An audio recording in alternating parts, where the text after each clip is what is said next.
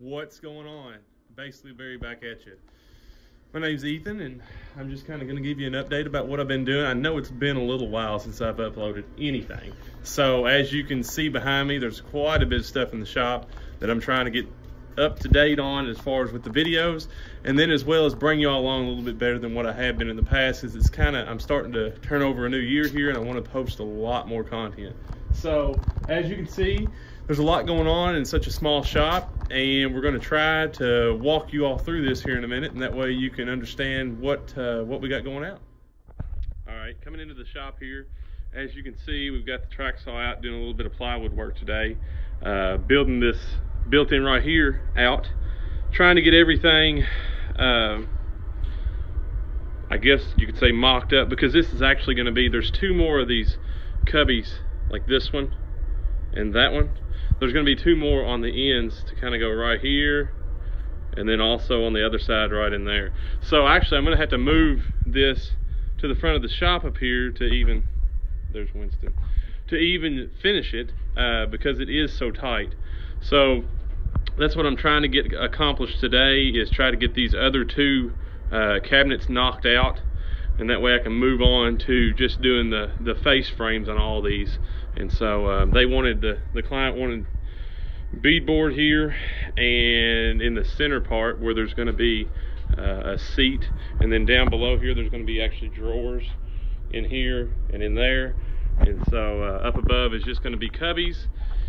And then I probably should show you all a sketch of this, but anyway, these are gonna be doors right here, big door, small door on each end, and then the cabinet, the other two cabinets that I'm finishing out today are gonna be the same. So, trying to get those.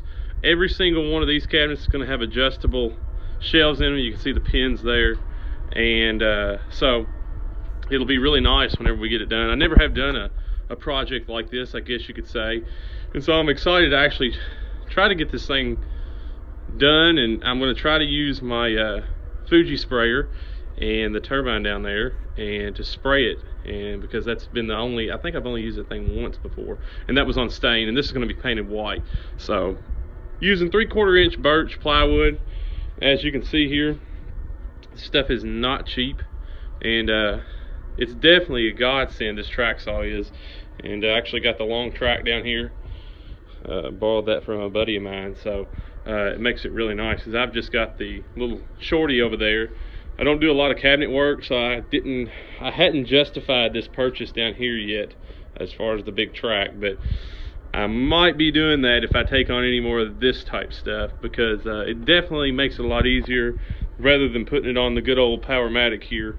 Um, not to say you can't do it, but it's a lot more troublesome and I feel it's a lot safer to break sheet goods down with the track saw and uh, to be honest with you I just enjoy using my Festool stuff. I mean who wouldn't? So anyway trying to get everybody caught up on what I'm doing. I'll bring you back whenever I get the other two cabinets done then we'll go hey guys. I'm gonna come back at you and give you a little update about what I've gotten done today. It's uh, it's moved on pretty good here. You can probably see in the background right there that uh, I've gotten the two other cases done and I'll flip the camera around here and let you all see kind of what I'm looking at and what I've done. All right, so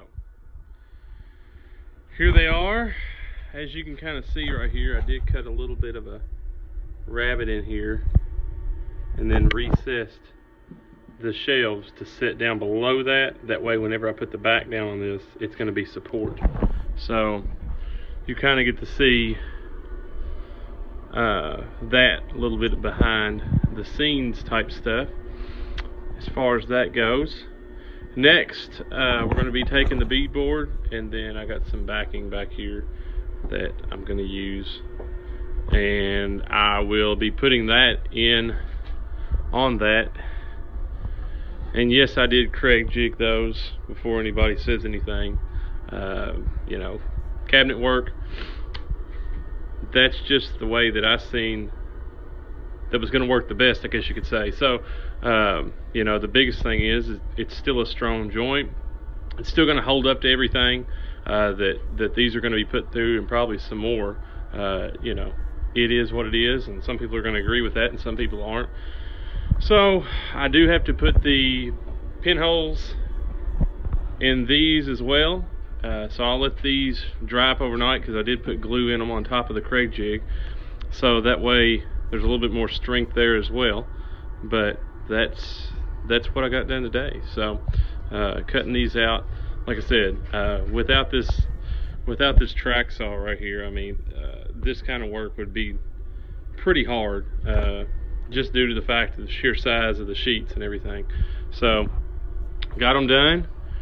Hopefully um, the next time I come back at you, we'll be doing some face frames and then after that we'll be doing doors because it does have one door here and then one door, door there and there is two, four, six, eight to do. So quite a bit of doors to build, but we'll get it done and I'll bring you back whenever we kind of do that.